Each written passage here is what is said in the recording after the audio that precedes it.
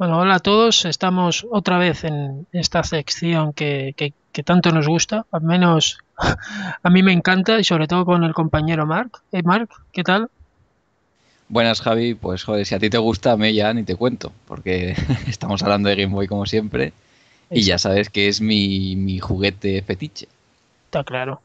Y además, bueno, otra vez en este caso estamos con una, un, juego que, une dos mundos, como, dije ya en su momento, ¿no?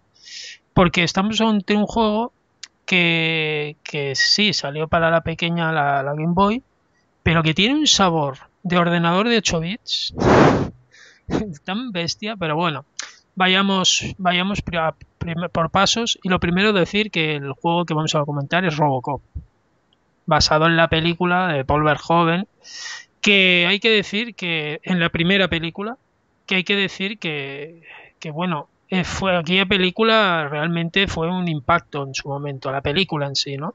Y lástima que tuviera más partes, porque si se hubiera quedado en una, hubiera sido perfecta, ¿no?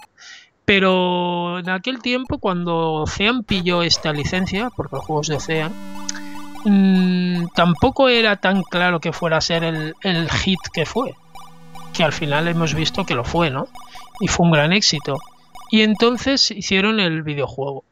En, mi caso, yo este juego lo conocí en, en ordenador, en Spectrum, ¿no?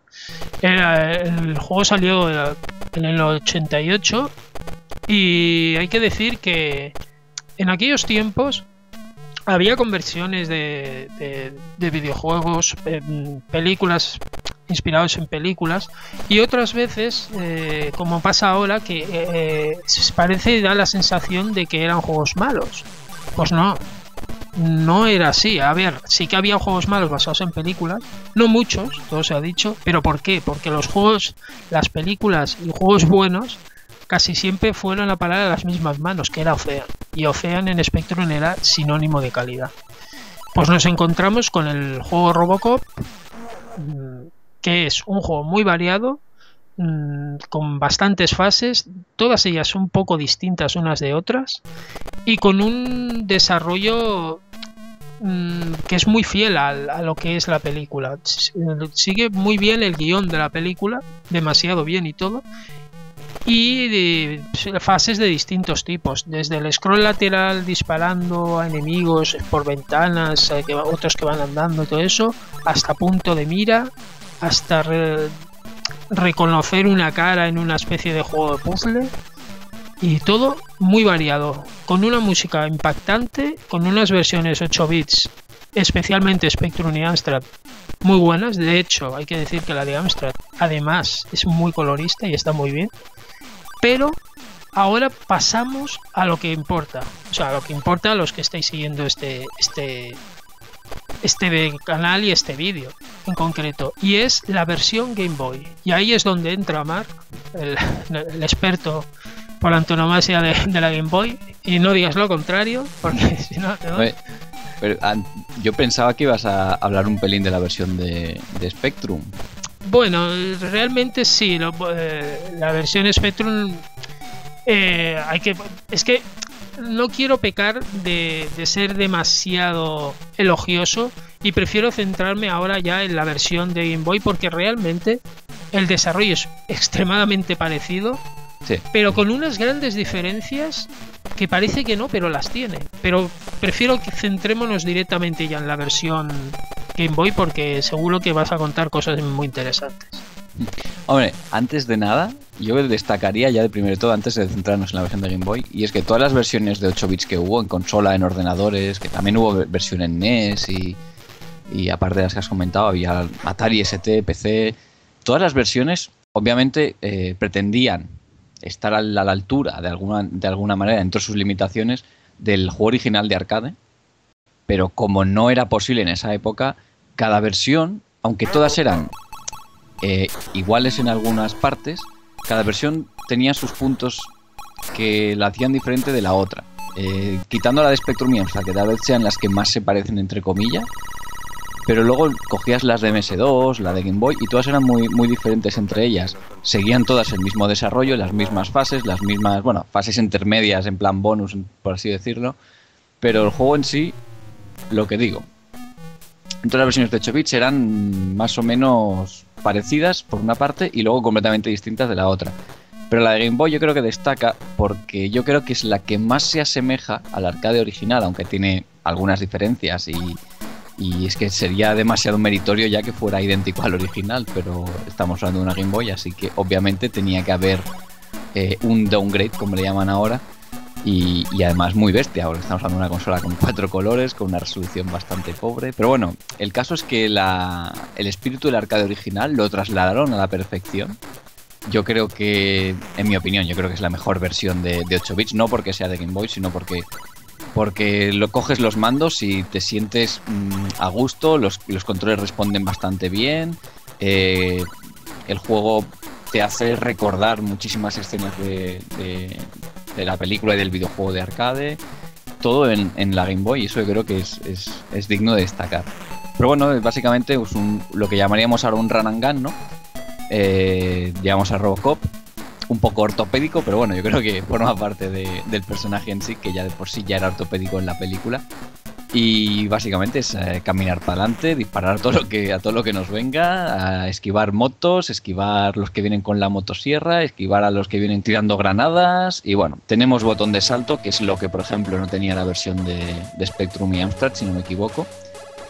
Y, no hay mucho más que decir respecto a la, jugabilidad. O sea, es un, es un run and gun súper clasicote, es, es que es, es, de corte clásica más no poder, no, no hay nada más. Y, pero tiene un gancho que, mola mucho porque el juego parece relativamente fácil, no lo es, yo creo que no lo es, aunque por suerte tienes continúes infinitos, que es otra diferencia que creo que también difiere bastante de las versiones de, de los 8 bits de ordenadores.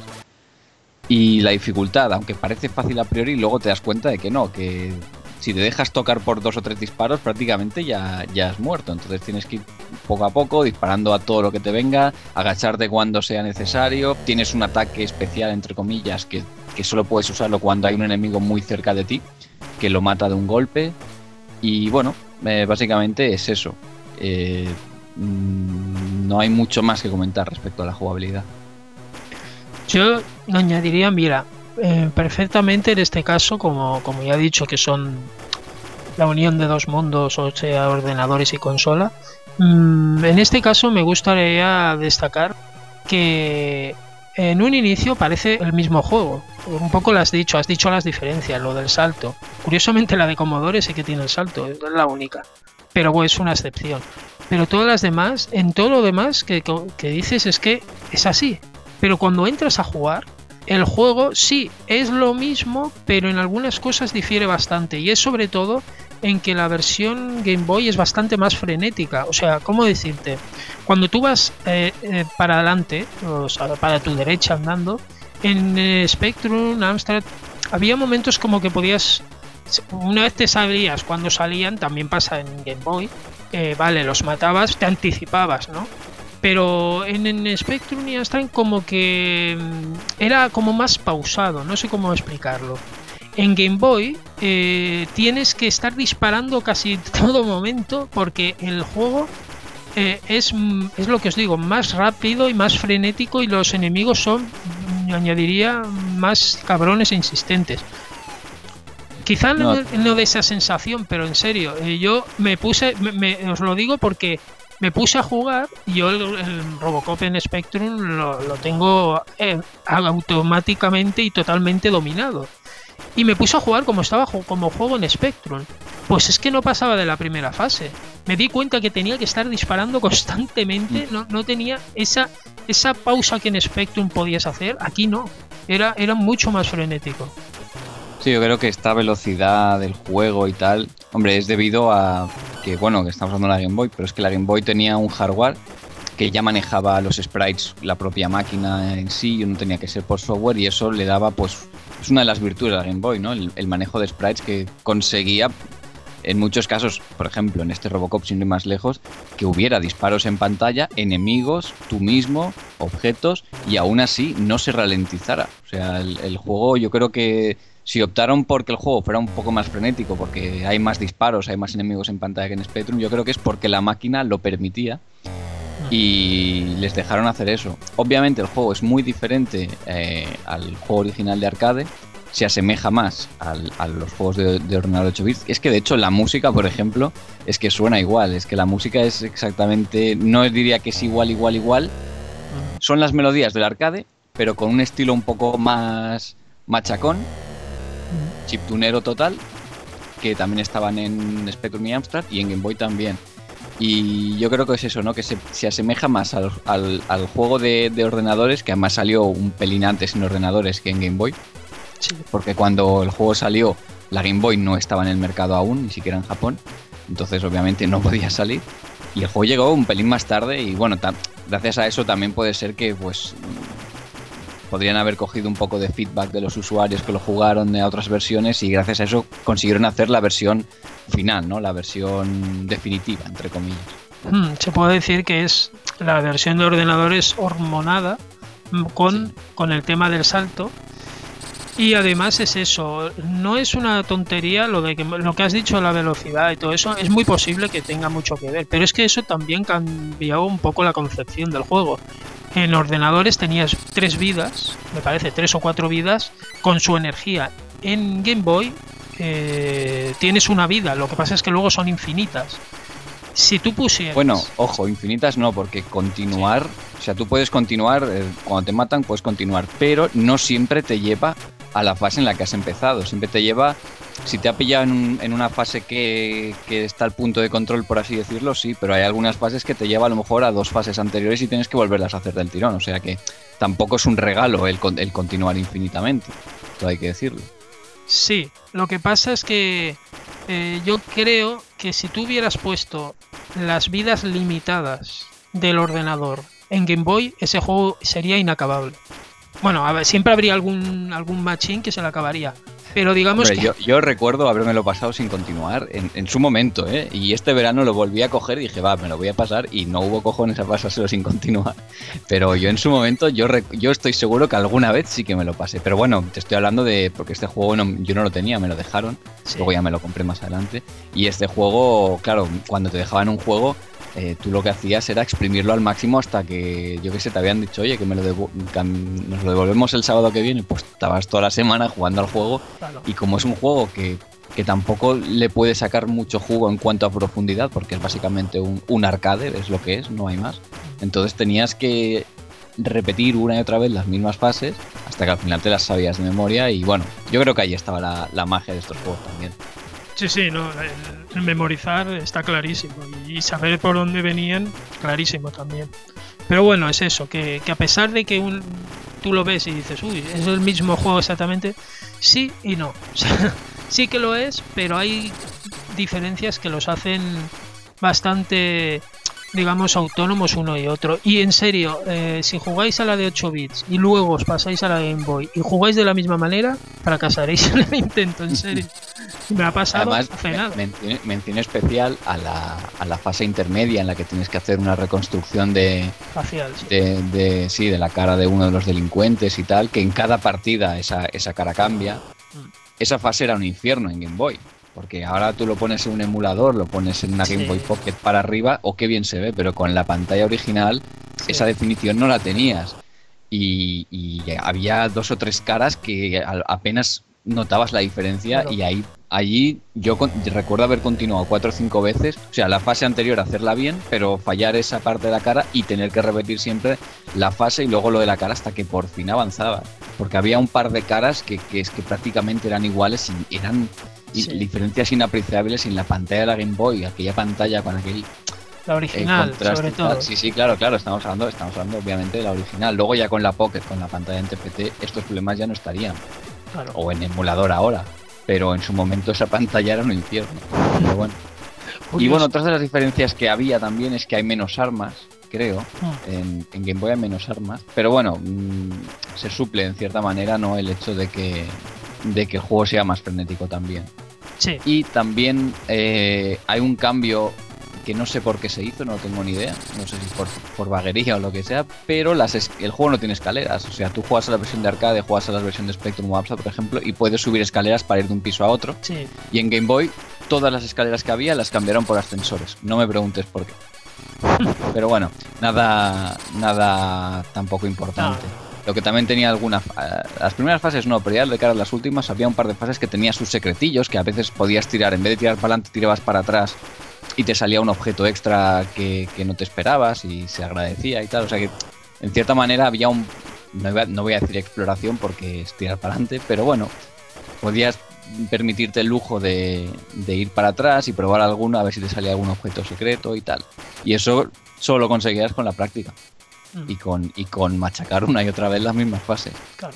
Y una otra cosa que, si no recuerdo mal, es superior en la versión Game Boy, es la aparición del LED 209, que en, que en el ordenador era un poco, dejémoslo un poco simple. Ahí el robot parado y poquita cosa, y en cambio en Game Boy el, el, el bicharraco aquel se mueve. Además, en la primera vez que te enfrentas contra él, te quitan las armas y solo puedes atacar con el puñetazo. O sea que te tienes que acercar a él. Y bueno, luego descubrirás que hay truquitos que te puedes poner a su lado y agacharte y no te dan las balas que te tira, pero sí, sí, al principio vas a, vas a sudar para intentar pasártelo. Mm, sin duda. Pues básicamente es eso, recomendar este juego, que eh, Ocean, la verdad es que antes de morir como en, las consolas, porque duró unos años en consolas también, nos dejó algunas joyitas como esta. Y... Sí, Ocean en, Game Boy yo creo que se portó muy bien. También nos sacó la familia Adams, si no me equivoco, era de Ocean, y estaba muy bien. El primero de la familia Adams estaba muy bien. Navy Seals, sí, eso, eso es... el, Navy, el Navy Seals, que a ver si algún día lo traemos por aquí, que también es un juego con muy muy clásico y, está muy bien. No, y respecto al Robocop, a ver, mm, ya lo estáis viendo, la gente que esté viendo el vídeo ya está viendo cómo es el juego, si no lo habían visto. Eh, no hay mucho más que destacar porque es un arcade muy muy clásico como os he dicho, pero para mí yo creo que es una recomendación de, todo el catálogo de Game Boy. No lo pondría en un top 10 porque es difícil pero siempre es un cartuchito que no cuesta de encontrar, es bastante común y si te puedes hacer con él, mm, de vez en cuando echarte una partida, siempre a mí siempre me mola. El Robocop, entre, entre otros, pero el Robocop siempre es uno de los que, no sé, me trae buenos recuerdos a lo mejor y además que es un juego que es muy, muy jugable y muy rejugable además y yo creo que es una buena recomendación para, para las colecciones de, de Game Boy. Mm. Sin duda una recomendación igual de válida para para la gente habituada a, los, a las consolas y, a los juegos de consola y aquellos que disfrutasteis de la versión de ordenador en su momento también os lo recomiendo que, si podéis os hagáis con él, que vale mucho la pena. Pues nada, Marc, ha sido un placer como siempre y aquí dejamos el, Robocop. Bueno, pues nada más por mi parte también, un placer como siempre y nada, a disfrutar de, de la Game Boy. Venga, hasta luego. Hasta luego.